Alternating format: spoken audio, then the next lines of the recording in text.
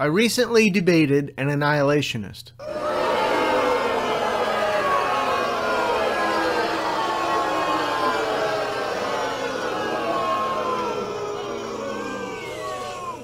The topic of the debate was Did God save the whole world? A link to that debate is in the description of this video down below. Following is my opening presentation from that debate showing the scriptural evidence that reveals yes, God did save the whole world through Jesus' death and resurrection 2,000 years ago. And that includes you, and that includes me, and the whole world.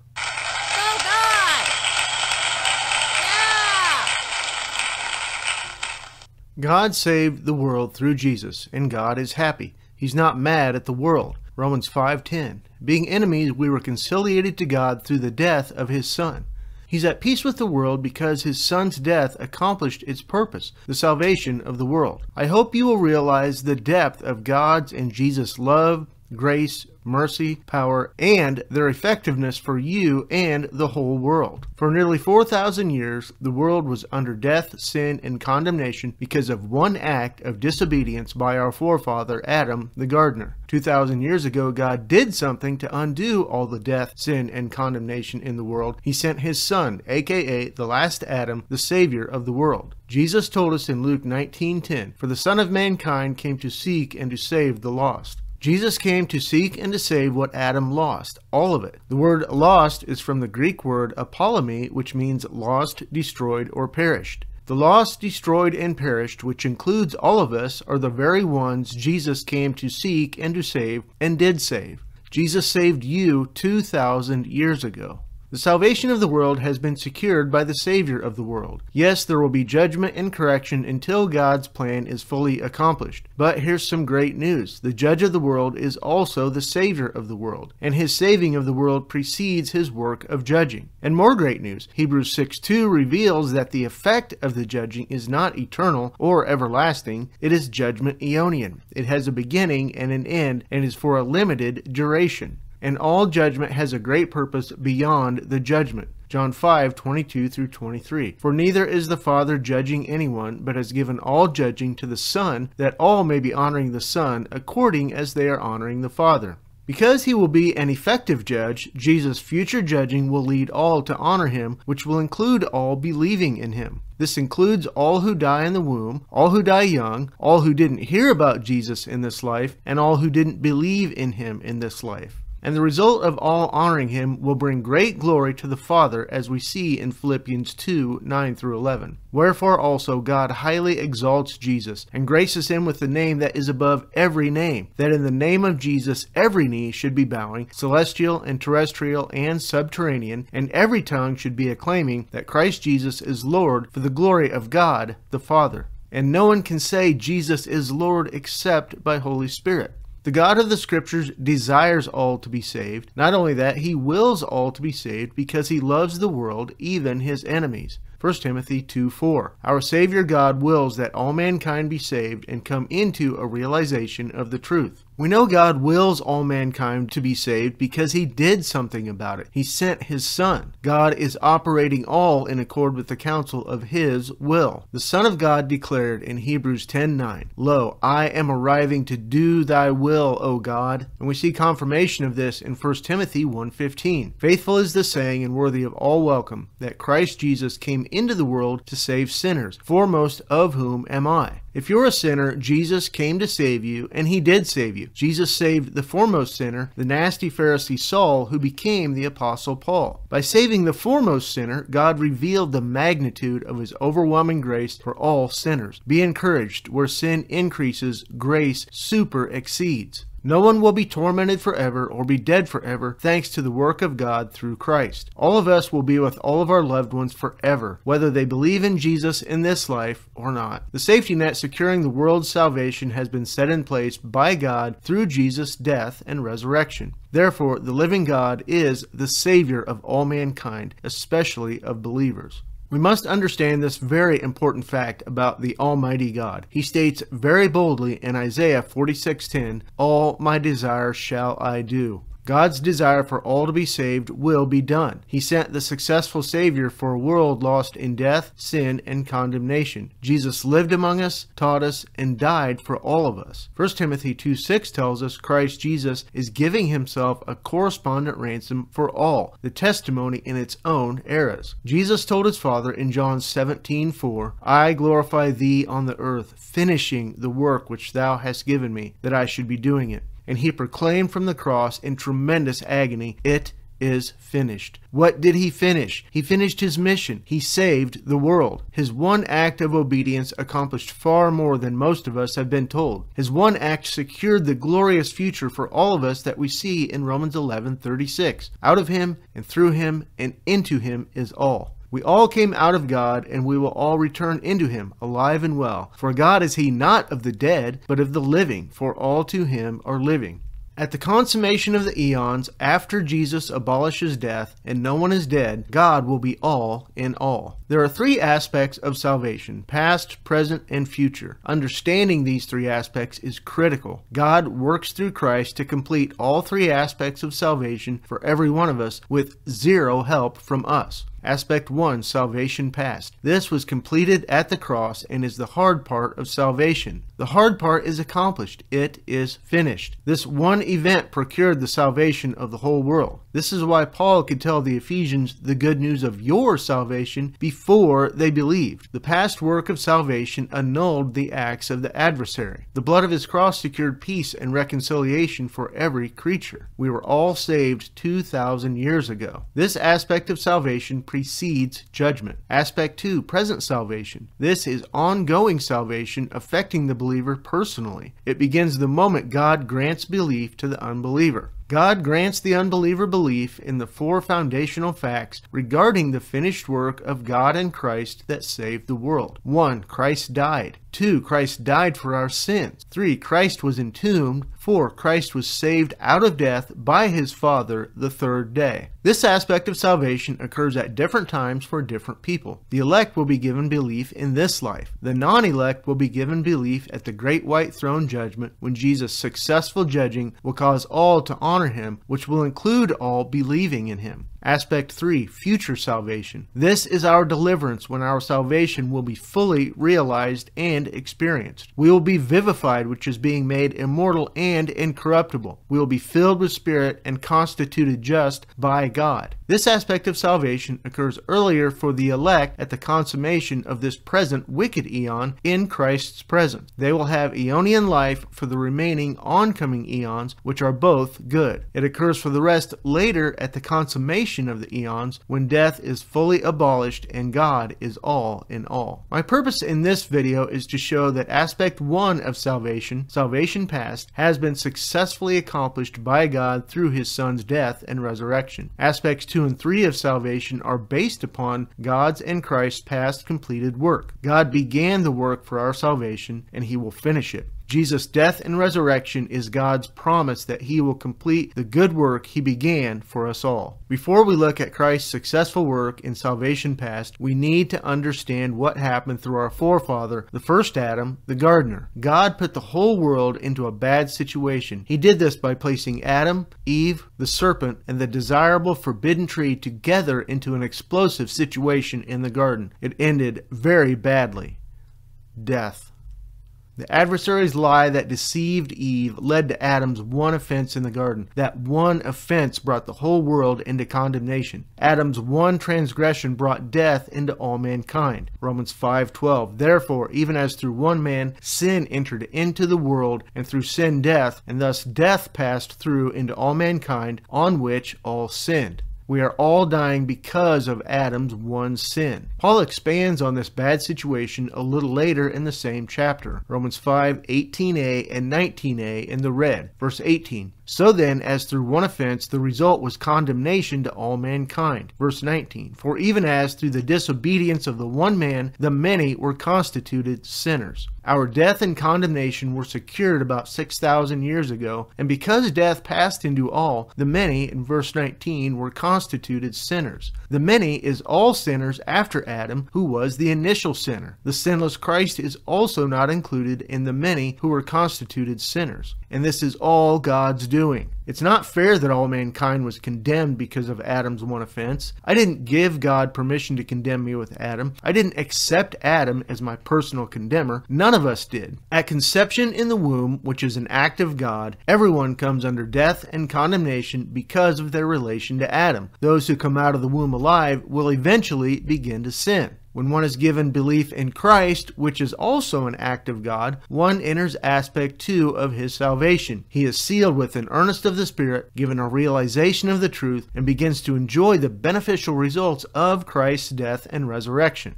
Now for some great news. Let's look at the rest of Romans 5 18 through 19 in the green. Verse 18 So also, through one act of righteousness, the result was justification of life to all mankind. Verse 19 Thus also, through the obedience of the one, the many shall be constituted just. The scope of Christ's good work is revealed to us by its direct comparison to the scope of Adam's bad work. Death, sin, and condemnation entered the whole world through one act of one man. Death, sin, and condemnation will be removed from the whole world because of one act of one man. The many in verse 19 is all except Christ, who is just. Some have said God can't save all because he is just. Well, look at that. We'll all be constituted just because of the obedience of our Savior. God is justifying the irreverent. We're not able to stop the disastrous results of Adam's one offense. Likewise, we're not able to stop the glorious results of Christ's one obedience. Who would want to? Remember, where sin increases, grace super exceeds. Just as God unfairly includes all of us in Adam and the bad results of his disobedience, he unfairly includes all of us sinners in Christ and the great results of his obedience. 1 Corinthians 15 22. For even as in Adam all are dying, thus also in Christ shall all be vivified. Again, we see the scope of the results of Christ's one act by its direct comparison to the scope of the results of Adam's one act. In Adam all are dying, thus also in Christ shall all be vivified, which is being made immortal and incorruptible like Christ. Let's now look at Jesus' first completed mission in which God secured the salvation of the world through his Son's death and resurrection 2,000 years ago. God sent his Son to save the world, including the non elect, those who aren't granted belief in Jesus in this life. John 12, 46 through 48. I have come into the world a light, that everyone who is believing in me should not be remaining in darkness. And if ever anyone should be hearing my declarations and not be maintaining them, I am not judging him. For I came not that I should be judging the world, but that I should be saving the world. He who is repudiating me and not getting my declarations has that which is judging him. The word which I speak, that will be judging him in the last day. In this passage, we see a key to understanding God's salvation and judgment of the world. Salvation by Christ precedes judgment by Christ. Remember, the judge of the world is also the Savior of the world. He saved the world during the death phase of his mission. He will be judging later at the great white throne. In verse 47, Jesus said the one hearing his declarations and not maintaining them is not being judged. Why? Because Jesus said, For I came not that I should be judging the world, but that I should be saving the world. In saying this, Jesus includes the repudiator with the world that he came to save and did save. In reality, this includes billions of Christ repudiators who have no place in their lives for Jesus. All of them have been saved with the world. The fact that the repudiator will be judged later reveals he was not granted belief in this life, because those who believe in this life, the elect, will have Aeonian life and do not come into judging. The past completed salvation that Jesus secured is a safety net for the world. No matter what judgment falls, follows, even if it's the second death in the lake of fire, the judged person has already been saved. Salvation precedes judgment. Remember, the effect of judgment is aeonian, not eternal or everlasting. Jesus' future judging of those who repudiate him will not undo the salvation he has already secured for them by his death. Christ will not undo his own work. The truth of John 12 is reinforced in John 3:17. For God does not dispatch his son into the world that he should be judging the world, but that the world may be saved through him. The world Jesus was sent to save is the same world he would have judged if the first phase of his work was the judging of the world. When we see these two verses together, we notice in John 12:47 Jesus' saving of the world is active, but in John 3:17 the world being saved is passive. This is another essential key to understanding our salvation. We must maintain this distinction. Jesus actively saves, the world is passively saved. It plays no active part in its own salvation. God and Christ have to be active in the salvation of the world because we are told in Romans 3:11 through 12, not one is seeking out God, all avoid him. This is due to God locking up all in stubbornness. Romans 11:32. For God locks up all together in stubbornness that he should be merciful to all. In God's time he releases each of us from the prison of stubbornness when he is merciful to each, even while we are sinners and in ignorance and unbelief, not deserving his mercy. And we see more evidence that reveals the scope of Christ's completed work, which includes those who believe in this life and those who don't. 1 John 2 2. And he is the propitiatory shelter concerned with our sins, yet not concerned with ours only, but concerned with the whole world also. 1 John 5:19 We are aware that we are of God and the whole world is lying in the wicked one. The whole world that is lying in the wicked one is the same whole world whose sins have been covered by Jesus. 1 John 4:14 And we have gazed upon him and are testifying that the Father has dispatched the Son, the savior of the world. Would God call his son savior of the world if he didn't actually save the world? No, that's just empty boasting which God doesn't need to do. The son is the savior of the world, the whole world. And Jesus actively accomplished our salvation by taking away the sin of the world. John 1 29. John the Baptist is observing Jesus coming toward him and is saying, Lo, the Lamb of God which is taking away the sin of the world. When Jesus took away the sin of the world, this included the sin of the non elect repudiators we saw in John 12, and even the falsely named unforgivable sin. He took away all sin. And how did he do this? How did Christ take away the sin of the world, including my sin and your sin? 1 Peter 2:24. He carries up our sins in his body onto the pole. He didn't just carry Israel's sins or the sins of the elect in his body. God placed all sin, past and future, into the body of our Savior. He was made sin and he died, and sin was condemned. Romans 8 3. For what was impossible to the law, in which it was infirm through the flesh, did God, sending his own Son in the likeness of sin's flesh, and concerning sin, he condemns sin in the flesh. It's through the death of Christ that the sin of the world has been taken away and condemned. The old humanity that was in Adam was crucified together with him. Sin, death, condemnation, and the adversary have all been dealt with through the death of Christ. Hebrews 2:14 Through death Christ should be discarding him who has the might of death, that is the adversary. 1 John 3:8 For this was the son of God manifested, that he should be annulling the acts of the adversary. And we know the entire sin of the world, past and future, has been taken away because God is now conciliated to the world. 2 Corinthians 5:19. God was in Christ, conciliating the world to himself, not reckoning their offenses to them. God is happy. God is now at peace with the world, not reckoning their offenses to them. But most of the world is not at peace with Him because they don't yet know Him or believe in Him. Believe in God and Christ. Be conciliated to God. Jesus' death for all was for the benefit of all. 2 Corinthians 5:14. For the love of Christ is constraining us, judging this, that if one died for the sake of all, consequently all died. He died for the sake of all, which is for the benefit of all. He died for the sake of the irreverent. All will benefit from his death. None of Christ's suffering and shed blood for the benefit of all will be wasted. He will be richly and fully rewarded with all that his blood bought, even those who reject, repudiate, and disown him in this life. Because Christ took away the sin of the world, sin cannot prevent anyone from being fully reconciled with God. The blood of his cross made peace for every creature. Colossians 1 16 and 20. For in the Son is all created, that in the heavens and that on the earth, the visible and the invisible, whether thrones or lordships or sovereignties or authorities, and through him to reconcile all to him, making peace through the blood of his cross, through him whether those on the earth or those in the heavens. The same all that is created in the Son is the same all that will be reconciled to God because peace has been made through the blood of his cross. The lie of the adversary and the offense of Adam resulted in death for all. The faith and obedience of Christ will result in justification and life for the same all. Romans 4:25. Jesus was given up because of our offenses and was roused because of our justifying. Life and justification will be fully realized by all when death, including the second death, is no more. 1 Corinthians 15 26. The last enemy is being abolished death. 1 Corinthians 15 54 through 55. Swallowed up was death by victory. Where, O death, is your victory? Where, O death, is your sting? All three aspects of death will be abolished for all the process of dying, the death events, and the death state. Then only immortal and incorruptible life will remain, and God will be all in all.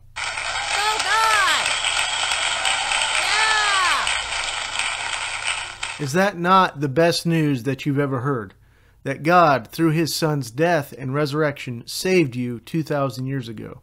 He saved the whole world.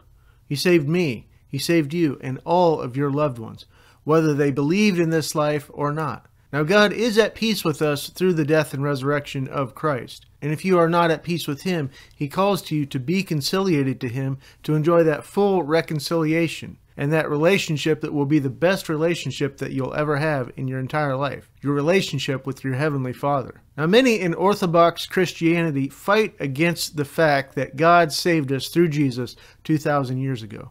And part of their denial of this terrific truth is that they believe in everlasting or eternal torment or everlasting annihilation. But those false ideas are based on horrible mistranslations in most popular Bibles of the Greek word aion and aionios. And when we understand that the judgment that God brings is limited in duration, it is not everlasting or eternal, that can change our entire outlook in understanding that even God's judgments, even his severest judgments, even judgment by death in the lake of fire, will not prevent God from being all in all. So I recommend to you this next video that will hopefully clear up in your mind misunderstandings of everlasting torment, eternal annihilation, and other false expressions in Orthodox Christianity based on horrible Bible mistranslations.